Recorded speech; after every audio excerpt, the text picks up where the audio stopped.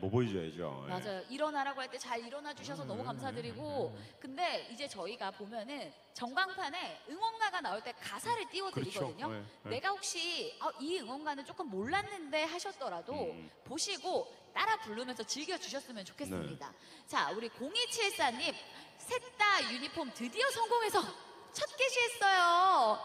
오늘 꼭 울산이었는데 세 골 넣자 하셨는데 한 명당 한 골씩 복을 나눠주러 오셨네요. 그러네요. 한 골 한 골 한 골 세 분의 유니폼 파워로 세 골 아 오랜만에 이 정도 들어가주면 나 진짜 행복할 것 같아요. 완전 좋죠. 음. 근데 저분들이 지금 저희가 대화를 못하는 게 맛있긴 한데 새 골을 어떤 선수가 넣었으면 좋겠는지도 어. 되게 궁금하네요. 아 네. 왠지 네. 엄마 아빠 애기 셋 다 좋아하는 선수가 네. 다를 것 같아요. 예.